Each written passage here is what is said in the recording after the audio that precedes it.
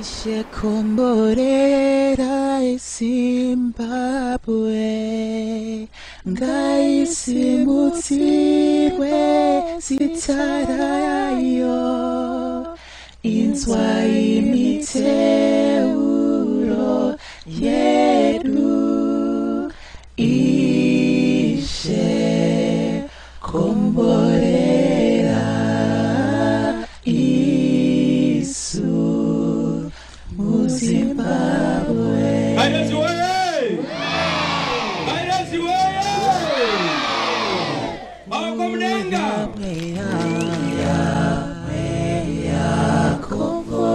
I primi di ottobre sono stato in Zimbabwe con un'organizzazione non governativa che si chiama CESVI, Cooperazione e Sviluppo.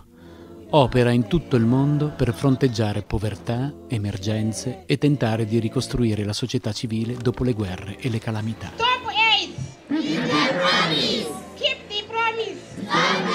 Io, Chiara e Marcello siamo atterrati verso le 4 del pomeriggio nella capitale dello Zimbabwe, Harare, che ha oltre 1.500.000 abitanti. Abbiamo subito incontrato Andrea Ferrari Bravo, responsabile dei progetti CESVI in Zimbabwe. Sembra quasi una, una, una stella. Una stella Però finalmente ho scoperto che sono due frecce che si incontrano, il nord e il sud che si incontrano.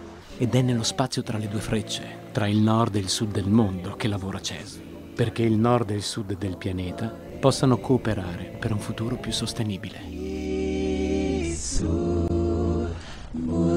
Isu muzimbabwe 3 ottobre, sveglia alle 7 del mattino. Partenza per visitare la sede del CESVI in Harare. Una bella casa con tutti gli strumenti utili allo staff dell'organizzazione per portare avanti i progetti del paese. Qui incontriamo Andrea, Carlo e Fortunate.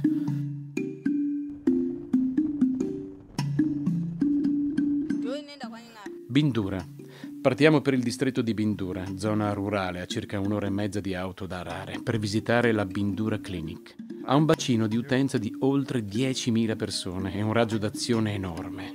Ci sono persone che percorrono a piedi 50 km, magari per un'iniezione o farsi semplicemente visitare.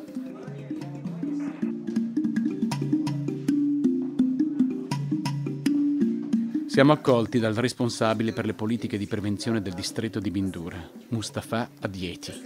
Ci parla delle cose che mancano e che sono necessarie alla clinica.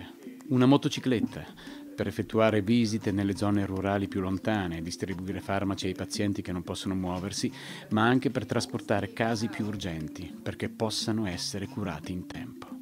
L'autoclave, macchina che disinfetta gli strumenti medici chirurgici, la cui mancanza mette a rischio di infezione le mamme che qui partoriscono. E poi la CD4 machine. È una macchina che semplicemente si fa il prelievo di sangue e rileva, eh, conta il- la carica virale. E dà indicazioni su come modificare il trattamento. Sì. Senza quella macchina il- il- la terapia antiretrovirale è necessaria ma può non essere funzionale. Per la mamma sieropositiva prossima a partorire, questo esame è necessario e fondamentale, perché il rischio del contagio esiste al momento del parto, quando il bimbo entra in contatto con il sangue. In un paese come lo Zimbabwe, con un alto tasso di diffusione dell'HIV, questa CD4 machine dovrebbe essere presente in tutte le cliniche fornite dallo Stato. Purtroppo non è così. Mustafa ci informa di un'altra infezione che non conoscevo, la bilarzia. Una parassitosi che provoca un'infezione alle vie urinarie. Se non curata in tempo può dare problemi importanti, tra cui l'infertilità. Cesvi ha realizzato una campagna di sensibilizzazione sulla bilarzia, effettuando il test e curando i casi positivi in 44 scuole del distretto di Bindura, con ottimi risultati. God protects you from the day you're born. You don't need to go to to the hospital to seek any treatment whatsoever. If you do that, then you're yeah, yeah, you're tempting fate. So it's it's religion to them. So they say they are God who protect them against evil. So they do not immunize If you have a problem, then you have to die. Die. You die. That's what Yes, God said. yes, You know, we'll pray for you. If God does not come to help you, it means God wants you to die. And we'll accept it. So they don't immunize their kids at all. So most kids die of preventable oh diseases like measles, like typhoid, like diphtheria, tetanus, you know, all those, you know, preventable six killer diseases. That's one.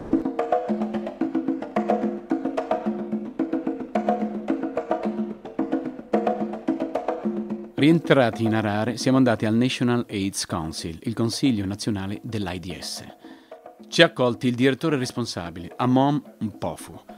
Il governo zimbabuano, ci spiega Mpofu, fa attività educative e di sensibilizzazione nelle scuole sul tema HIV-AIDS.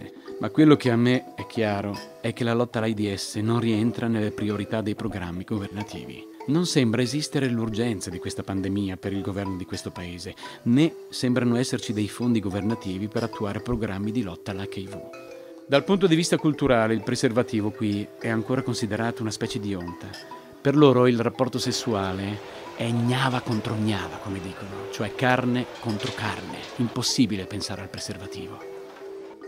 Le organizzazioni come CESVI sanno che una parte della battaglia contro l'HIV è culturale e va combattuta con le armi dell'educazione e dell'informazione, con il personale locale che spieghi che cosa è l'AIDS e come può essere combattuto.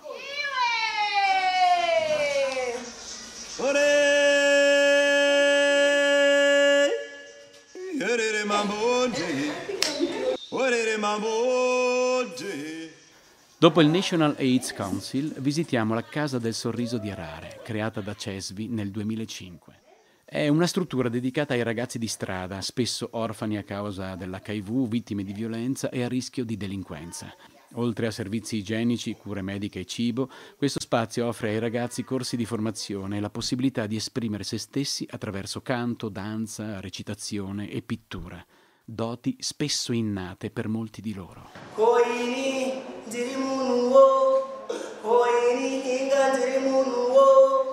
È quindi un'accoglienza diurna, una cuccia dove possono rifugiarsi. Ci hanno mostrato entusiasti alcune scene teatrali dove si parla di preservativo, di stigma, di pregiudizio, di ignoranza nei confronti della malattia.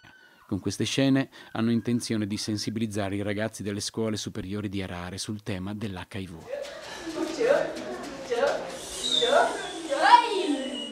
Con Fortunate, zimbabuana esperta in salute pubblica che collabora con CESI per la messa in opera dei progetti sanitari in Zimbabwe, abbiamo intervistato alcuni di loro. Mercy, 19 anni e sieropositiva, è in cura con gli antiretrovirali da quando ne aveva 17. Mercy ci racconta come viva con difficoltà la sua malattia e come soffra per essere discriminata e ghettizzata, soprattutto dai suoi coetanei a scuola. Nella casa del sorriso si sente accettata. Pride, diciottenne, giovanissimo anche lui, emarginato, vive di stenti sotto un ponte. Ruba, oltre che per mangiare, anche per poter andare a scuola e comprarsi i libri. La casa del sorriso lo ha accolto, ma lui è ancora un po' diffidente, ti guarda, ti scruta, ma si vede che ha voglia di fare. È stato inserito nel gruppo di recitazione e proprio oggi ha recitato per noi una scena ed è bravo. Questa è la prima iniezione di fiducia per il suo futuro.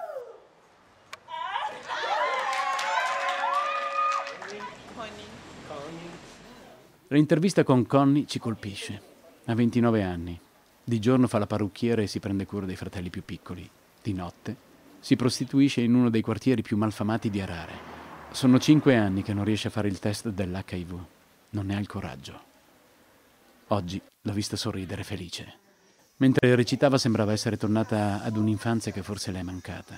Con i ragazzi della casa e con lo staff del CESVI può parlare della sua doppia vita senza paura di essere giudicata.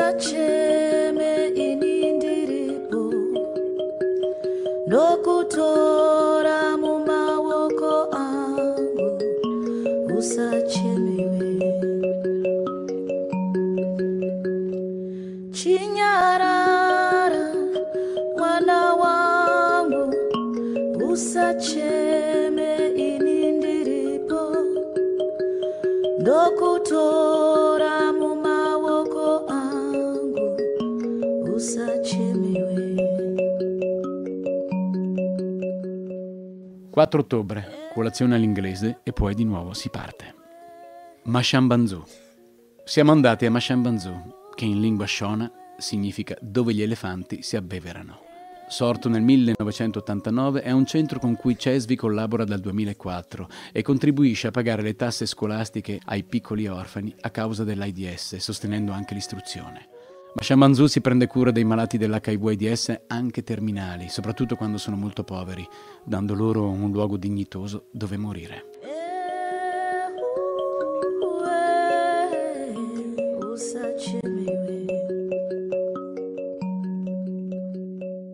La direttrice Sister Ivi e le sue collaboratrici ci raccontano delle attività che portano avanti e dei casi che hanno sostenuto e di cui sono molto fiere, in particolare di Patient, una ragazza di 19 anni, orfana di padre e con una madre sieropositiva. Vendeva verdure al mercato di Arare. Patient è riuscita a studiare e a frequentare un corso di informatica alla Casa del Sorriso. Ora lavora al centro Mashan Banzu come segretaria, organizzatrice e risponde al telefono, occupandosi dell'accoglienza. Patient, con il suo sguardo e il suo sorriso, ringrazia continuamente il centro ed il CESVI che l'hanno aiutata a diplomarsi. Purtroppo molte famiglie non riescono a pagare le rette per i propri bambini che a sei anni cominciano già a lavorare. Poi ci siamo addentrati nella clinica vera e propria. Abbiamo visto casi estremi. Sono entrato nella camera di Ottilia e Lania. Stavano dormendo. Pensavo fossero due bambine, invece erano due donne di 32 e 34 anni. In un'altra stanza ho incontrato Silvia, un'altra malata terminale. Mi ricordo uno sguardo e un sorriso speciali. Poi ho parlato con Grace, malata di HIV non terminale, meno grave dei casi precedenti. Grace ha quattro figli salvati dall'HIV con la somministrazione dei farmaci. La vengono a trovare tutti i giorni e la sostengono.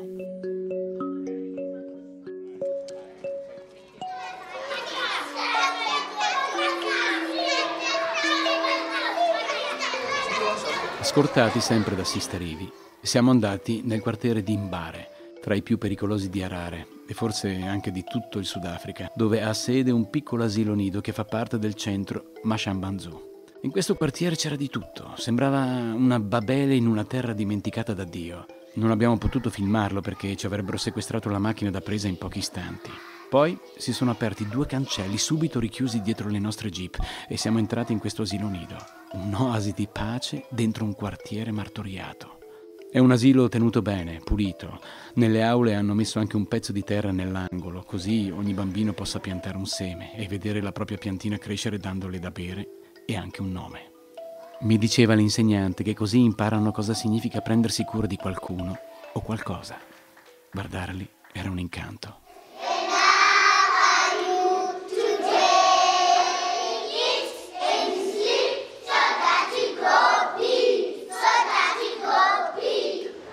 Già senti la presenza della vita in un bambino di 5-6 anni, molto diverso rispetto al nostro. Il nostro è ancora un bambino, c'è ancora un'ingenuità, qui c'è già la vita.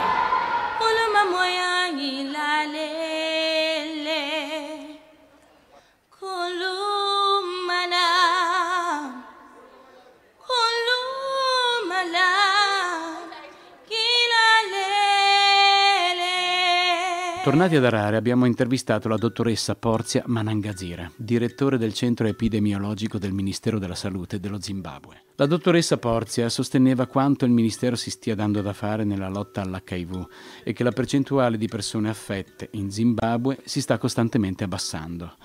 Ma quanto questo corrisponda a verità non si sa. Ha raccontato inoltre che il Ministero della Salute collabora con alcune ONG, tra cui il CESVI, con l'obiettivo di diffondere nel Paese i protocolli di cura con farmaci antiretrovirali e di prevenzione per evitare il contagio del virus HIV da mamma a bambino.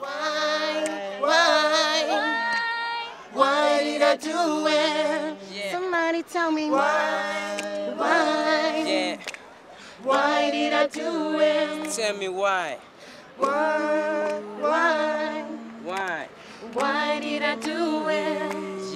Durante la pausa pranzo, Fortunate ha chiesto ai camerieri Numa e Tyson, di circa 20 anni, cosa ne pensavano dell'HIV. Le parole dei ragazzi hanno sottolineato quello che la dottoressa Porzia ci diceva mezz'ora prima. Tra l'informazione televisiva e quello che si dicono tra di loro a scuola c'è un divario enorme. I dati forniti dal Ministero della Salute in Zimbabwe parlano del 15% come tasso di diffusione della malattia nel paese. Loro invece sanno che in realtà quel tasso minimo è al 30%, con punte addirittura del 33-35%. In queste parole avverto una certa rassegnazione che fa parte della loro cultura.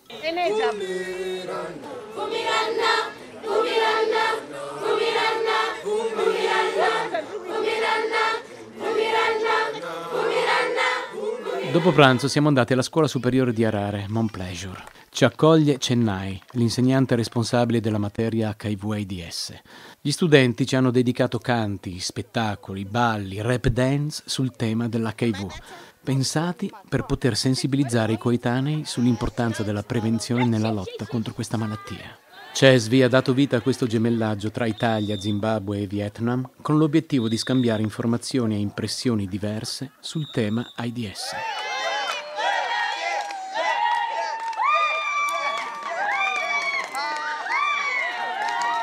Uno di questi ragazzi mi ha detto che il suo idolo è Michael Jackson e vorrebbe danzare e cantare come lui. È sempre molto ancestrale il canto di un gruppo di africani o di un africano.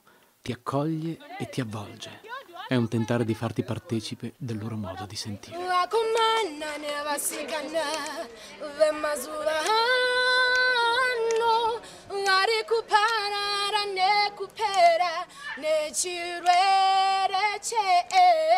vazhinji vechidiki havachazvikoshese havachinahanya neupenyu havachinahanya nekuzvibata havachinahanya neraramo yavo iwe zvikoshese Terzo giorno. Intervista ad Andrea Ferrari Bravo, responsabile progetti CESVI in Zimbabwe. CESVI, mi dice Andrea, ha utilizzato con successo il protocollo di prevenzione per impedire la trasmissione del virus HIV-AIDS da madre a figlio, dando così vita alla campagna Fermiamo l'AIDS sul nascere, avviata nell'ospedale Sant'Albert. E fra i nuovi progetti c'è quello sulla coltivazione delle arance nella zona di Sasce, questa zona è stata scelta perché è adatta all'aranceto. Una volta mature, le arance potranno essere esportate, diventando così fonte di reddito per la popolazione locale. Qua si può vedere il villaggio di Sciasce, chiaramente ci sono case anche a distanza di anche chilometri, eh, perché sono agricoltori, quindi ognuno ha il loro appezzamento di terra. Ma questa qua, questa zona, blocco A, B, C e D, è il vecchio eh, schema di irrigazione di tutta la comunità, quindi loro fanno un lavoro comunitario. Ma do, scusa, dove prendono l'acqua? L'acqua la prendono là dal fiume, che è questa Ma perché è un fiume quello? Que- questo è un fiume, però in realtà eh, ha questo colore eh, perché è sabbia e l'acqua scorre sotto. Ah, quindi non si vede. Sì, quindi mm, per otto mesi all'anno non si vede l'acqua. Ci sono sistemi di pompaggio lungo la riva che estraggono l'acqua dalla profondità della sabbia e vengono inseriti in un canale principale che poi eh, eh, Irriga i campi. irriga i campi. Africa, Africa, mama yo, Africa, Africa, mama yo, oh ziatuma, ziawela, ziatuma Africa yo, ziatuma, ziawela, ziatuma Africa yo. Ad Arare Garden i ragazzi di strada, fra cui alcuni della Casa del Sorriso, guidati da Amnesty International, hanno voluto ricostruire la loro giornata tipo nelle township, una sorta di favelas. L'obiettivo della ricostruzione era dare la possibilità a chiunque di vedere una township. Township sono una sorta di favelas che hanno loro qua attorno e ci sono i ragazzi del- della Casa del Sorriso, più dei ragazzi veramente delle township da dove vengono dalle favelas, che fanno questa rappresentazione assieme a Amnesty eccetera per sensibilizzare e far vedere come vivono dentro questa situazione perché noi non, po- non potremmo mai entrare, una persona normale non entrerebbe mai, non uscirebbe mai viva.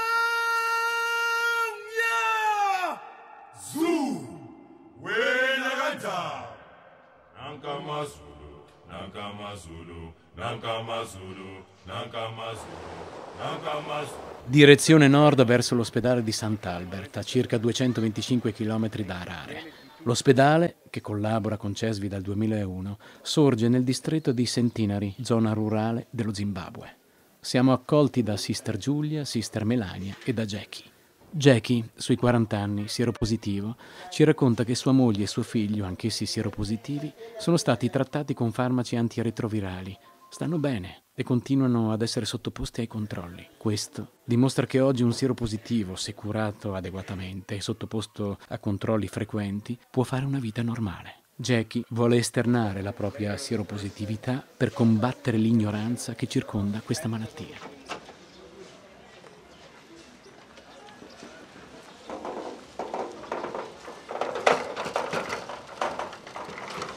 Un corteo funebre, c'è una cassa da morto, ci sono i parenti, la compagna probabilmente verrà bruciato, incenerito e torneranno a casa stasera con, con un'urna di cenere. Visitiamo poi i vari reparti. Un laboratorio di cui sono molto orgogliosi che contiene nuovi apparecchi tecnologici forniti da CESVI.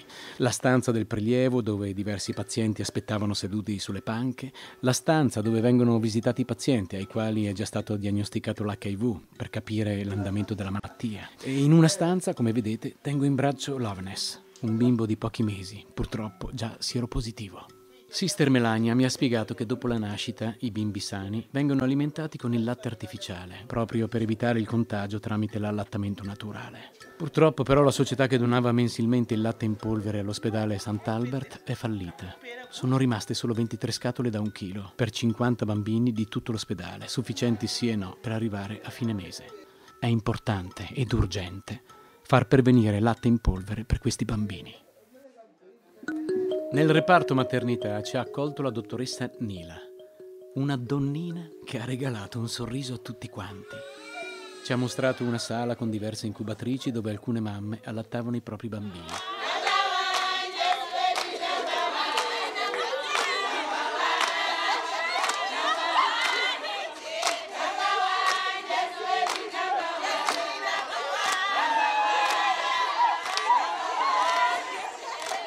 E raggiungiamo così l'ala esterna della struttura che ospita il Maternity Shelter, realizzato da CESVI. Struttura dormitorio dove le mamme possono ricevere nell'ultimo periodo della gravidanza ogni tipo di assistenza. Se sieropositive, sottoporsi durante il parto al trattamento antiretrovirale per proteggere il neonato dal contagio. Il dormitorio è ancora in costruzione e quando sarà terminato conterrà fino a 160 posti letto. Le donne ci hanno accolto con un canto meraviglioso. Erano stupende, una solarità, i colori dei vestiti, la danza, la gioia. Mi ha detto Melania che il 30-40% di queste donne sono affette da HIV, però sono comunque felici, felici di donare la vita, avere un figlio e aspettano quindi gioiose il loro parto.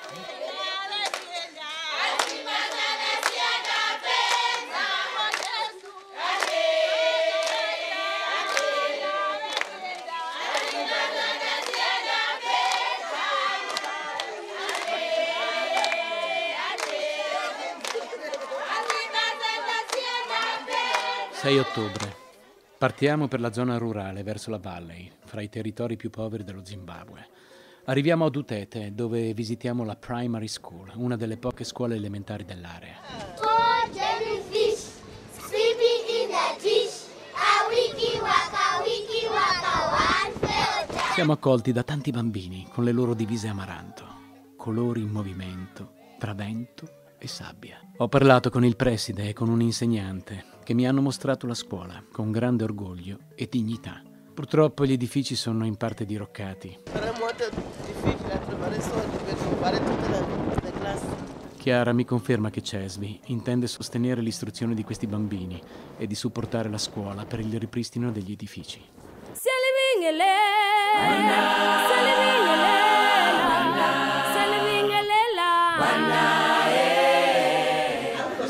molto molto concentrati e attenti, vogliono veramente imparare e sapere cosa fare. La maggior parte di loro hanno dei parenti ammalati, ne ho intervistati 3 o 4, chi ha la sorella, chi ha la mamma, chi ha il fratello, chi ha se stesso, cioè, cioè, cioè persone sono sieropositive e vogliono aiutare gli altri a, a riprendersi, a poter avere energia, a poter vivere la loro vita tranquillamente senza lasciarsi abbandonare su un letto, senza letto per terra, senza avere la forza di alzarsi giornalmente. Poco distante arriviamo dai Caregivers, un corso di training istituito da CESVI per la formazione di assistenti volontari, responsabili di controllare e monitorare la condizione dei malati di AIDS nei propri villaggi. Il training che vediamo dura tre giorni. Sister Melania, che si occupa di questo progetto, ci spiega che con gli anni i caregivers sono diventati moltissimi e hanno assunto un ruolo sempre più centrale all'interno dei villaggi.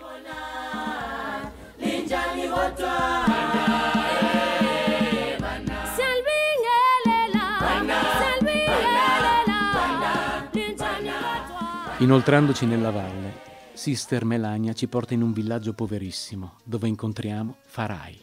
Questa è la Eh, casa? Adesso dove andiamo? C'è una, una nonna che l'ha due dei, dei suoi nipoti, che i genitori sono morti tutti e due con AIDS. Allora questa nonna non vede bene e bada questi bambini. Molti sono i nonni che si occupano dei bambini perché i loro genitori sono stati decimati dall'HIV.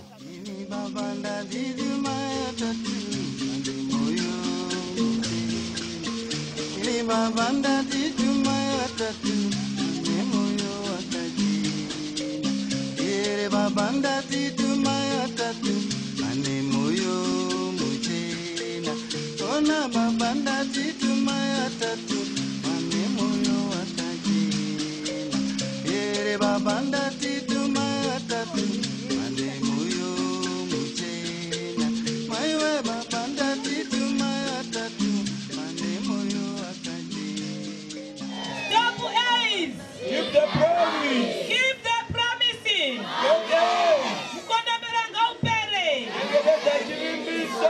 Sempre avvolti dal forte vento di quel giorno, siamo arrivati a Cairezzi, dove il CESVI ha organizzato un evento di sensibilizzazione sull'AIDS, con oltre 1600 persone arrivate dai villaggi più lontani. In quattro tende si poteva fare il test dell'HIV gratuitamente. Nella scenografia data dalla sola natura, un insegnante di recitazione con cinque giovani hanno mostrato alcune scene sul tema dell'HIV, su come prevenire la diffusione e sull'importanza di usare il preservativo. Subito dopo ci hanno offerto il pranzo in segno di accoglienza e di amicizia e fatto dono di una pannocchia bollita a testa, offerta preziosa e importante, come ci spiegava Carlo.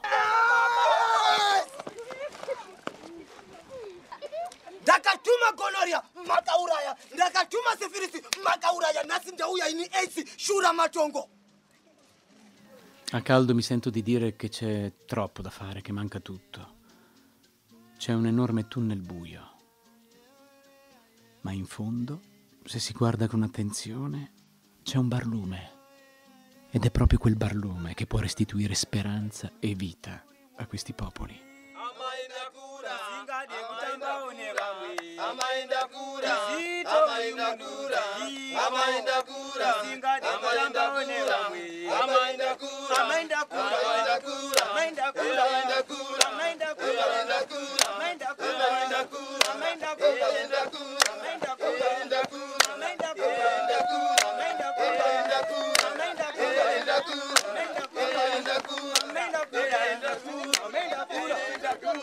ichi chikwata ichi chikwata chedikomu theatre production. Saka ndati nechadikomu.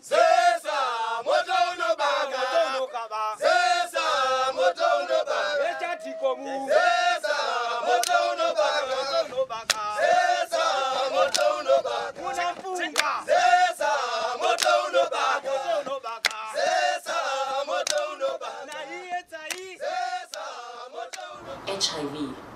the same.